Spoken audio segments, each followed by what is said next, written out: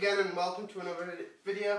I haven't done one since, um, well, near the beginning of last month. Um, but I was going to do some more. I, know I haven't done one in a while. This time I'm going to do another Doctor Who related video. Because I know last time I did one for my, um, actually no, two months ago, sorry, second anniversary video. Uh, this time I'm doing a Doctor Who video. I'm not doing anything like Series 8 yet. You'll have to wait that until the end of the year, I'm sorry. I'd rather do it the whole year. Now, one thing um, I thought about was doing um, a couple of videos about the revived attempts of Doctor Who. And I kind of had an idea to do this, and I thought, well, do you know something, I'll, you know, try it. So, like I said, I'll be going over the, you know, the three main revivals which might be confusing to many people because many people only know the only two. We're going over, of course, the TV movie, the 1996 revival, Scream the Shalka, 2000, the 2003 revival, and of course the the the new Who we have, uh, the 2005 revival. Now, this time I'm going to go over the the Doctor Who TV movie. Now, most of you might think this cover looks a bit different, but I got it through issues I collected um, after weeks and stuff, and this came uh, for free when I when I got it. Now, said the TV movie is a bit of an, um, an interesting um, um, revival because originally it was given an idea before Doctor Who was cancelled in 1989, and this was supposed to be an American remake and uh, a new continuity of Doctor Who. So this would have been like the new Doctor Who would have would have never followed on um, from the old series. Now as I said, um, the Doctor in this is actually Paul McGann who played the Eighth Doctor. But as I said, Sylvester McCoy did return to film the regeneration scene into Paul McGann's Doctor. Um, you also have Daphne, Daphne Ashbrook who plays Grace Holloway, Dr. Grace Holloway. And um, uh, I can't pronounce, sorry, I can't pronounce the actor that plays Chang Lee. Um, he's also in it as, as well as the, the, the new Master played by um, Eric Roberts. Now, as I said, the film on it on its own is really, really good. But after, like nearly 18 years, it's a bit corny, but it's, it's a really good film. And for several years, this was the only story that the Eighth Doctor only had until last year, the Night of the Doctor. Because it made the Eighth Doctor very, very pointless afterwards. Um, and because like I said, he had no, uh, you know, no series on television, no regeneration scene for several years, and that's what made Paul McGann's Doctor very redundant on television mainly. Now, so the story is actually set, like I said, in 1999 in San Francisco, um, Millennium, Millennium Eve 1999, and like I said, the Doctor lands um, on the planet, uh, on in Earth, and unfortunately gets shot by a Chinese gang, which I didn't like, uh, Sylvester McCoy. That one thing I didn't like was Sylvester McCoy's doctor. It made his doctor feel um, um, very redundant once he would, was was classed dead before he fully regenerated into the Eighth Doctor. Whereas a bunch of doctors, including Grace, operates on him and um, tries to recover him, but unfortunately dies. And then it turns out that Grace finds out that the person she operated on was the same person she met hours later. He's just regenerating to a new man. As I said, um, he tries to battle.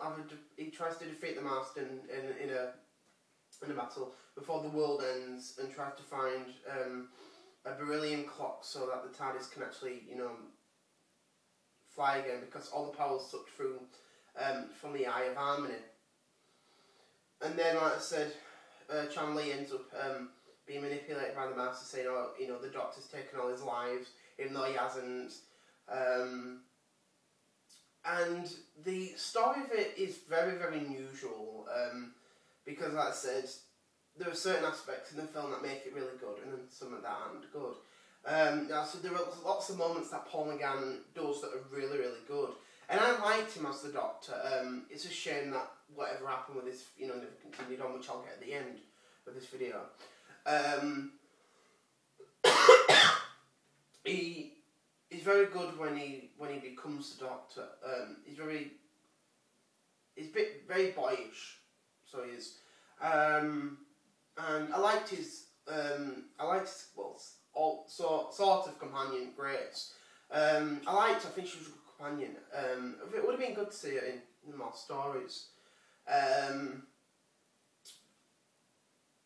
but also I like Chang Lee, who, who kind of helps the Doctor at the end. Um, it would have been, I think, it would have been nice for him to return as well if things changed. Um, and also uh, the end of it as well. I know I'm just going through the whole story, but I'm just going through the main plots of this. If you know, if no one's ever seen this, I don't want to spoil anything. And that's over 18 years old. Um, yes, yes. Now, there were certain part parts in the story that people don't like, especially the kissing scene with the Doctor and Grace, because this is the first time the Doctor romantically kisses a woman for the first time.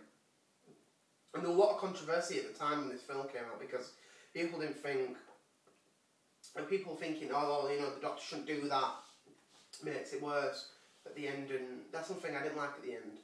A lot of people didn't like it either. And then the Doctor offers Grace uh, to travel with him in the TARDIS, but she says no. Um, I think I would love seeing that. I think it would have been nice for Grace to actually travel the Doctor, not just in this one episode, but more stories. Um, and then the Doctor uh, flies back in, goes back into the TARDIS, flies away, fixes TARDIS, um, and that's it really. Um, I said I was going through the whole main plot of it. Now I said the original idea of the story was supposed to be a new continuation uh, and a new an American Doctor Who series. Unfortunately, it failed. Um, the problem with it was that not a lot of people went to watch. Um, um, there wasn't a huge fan base this film uh, when it came out first in America. Uh, sorry, first in Canada and then in America. Um, so they they flopped both. They flopped a lot in both those countries. But in England, it did really really well. Um, so then after that, Fox gave back the license to the BBC um, because they weren't interested in, in a Doctor Who, you know, series. And it's just a shame because I would love to see more of this. I think Paul McGann was a good actor. Just a shame no more stars was ever made. And it would have been nice to see a series or something. Now, originally Paul McGann said he actually wanted. To, he signed up for six years. He said if the film picked up, it would have been that. Uh, it would have been the Doctor for six years. Um, I think that would have been an interesting thing. I think I wonder if it would have been done a bit longer um, for the you know for 40th anniversary. You know if it got picked up um, and all that stuff. Um, but it's nice. It's nice as a good story. It's a bit corny now. And the interesting thing about it was that when the new series came back on in 2005, this wasn't actually seen as ca- uh, canon.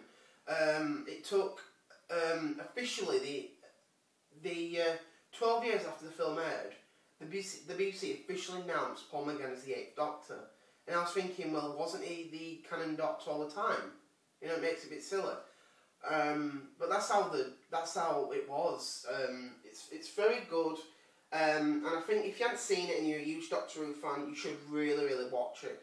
It's different but unusual at the same time.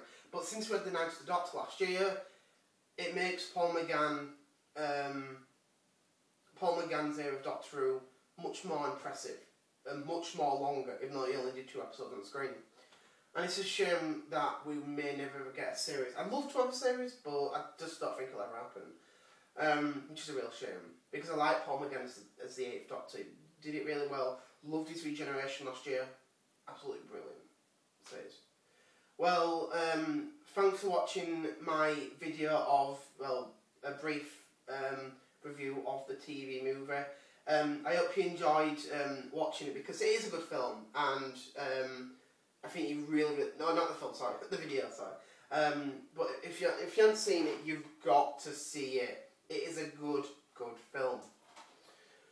Well thanks for watching my video and uh, catch up the next one which will be about Scream of the Shalka um, thank you. Bye